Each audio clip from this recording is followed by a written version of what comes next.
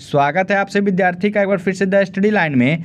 आज के इस वीडियो में हम लोग जो है ग्रुप डी का जो ऑफिशियली नोटिस जो आया है आरआरबी के तरफ़ से, उनके बारे में बात करने वाले हैं। आपको पता है, ये डेट ऑफ़ इशू जो है, ये 24 एक 2022 का है। इसमें ग्रुप डी में जो आपका एग्ज़ाम को लेकर के बहुत ही बड़ा परिवर्तन लाया गया है। इसमें आपको पता है कि ग्रुप डी में कुल एक एग्ज़ाम होना था, यानी कि सी बी केवल होना था। लेकिन अब जो है सी बी भी ला दिया है, यानी कि अब ग्रुप डी में केवल एक एग्ज़ाम नहीं, अब दो एग्ज़ाम होने वाले हैं, ठीक है? एक सी बी और सी बी इसमें क्या क्या चेंज किए गए हैं? चलिए इस वीडियो में आपको आगे बताता हूँ। हूँ ठीक है?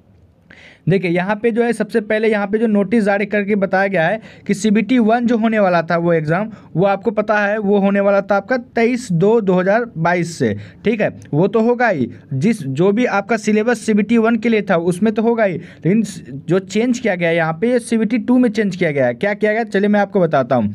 यहाँ पे सी बी टी टू के बारे में लिखा गया है कि जो आपका जो पहला जो सिलेबस जो रहेगा, वो टेंथ स्टैंडर्ड का ही रहेगा, जो कि आपका सी बी टी वन में होगा, ठीक है? सी बी टी वन का जो आपका सिलेबस है सेम उसी तरह रहेगा सिलेबस, ठीक है?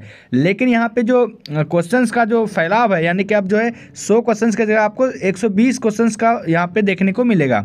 तो यहाँ पे टोटल जो है नब्बे मिनट का समय रहेगा। इसमें से आपको तीस साइंस तीस मैथमेटिक्स पैंतीस रीजनिंग पच्चीस जो जी के और करंट अफेयर्स, इस तरह से टोटल 120 क्वेश्चंस हो जाएँगे। और सभी क्वेश्चंस का जो 120 है, यानी कि हर एक नंबर, जो है, एक क्वेश्चंस का एक नंबर मिलेगा। यानी 120 क्वेश्चंस हो गया तो टोटल 120 मार्क्स का हो गया, ठीक है?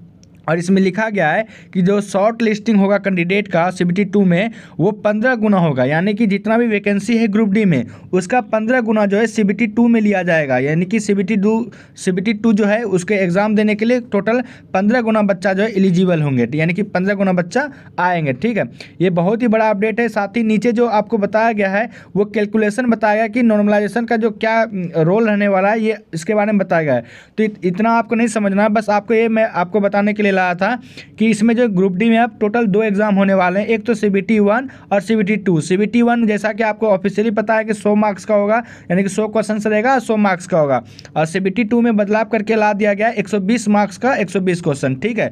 जैसा कि मैंने आपको यहाँ पे ऊपर में बता ही दिया कि यहाँ पे क्या क्या सिलेबस रहने वाला। आप लोग स्क्रीन ले लीजिए इसका, ठीक है? चलिए, आगे हम लोग वीडियो में बात करेंगे। तब तक के लिए जय हिंद, जय भारत।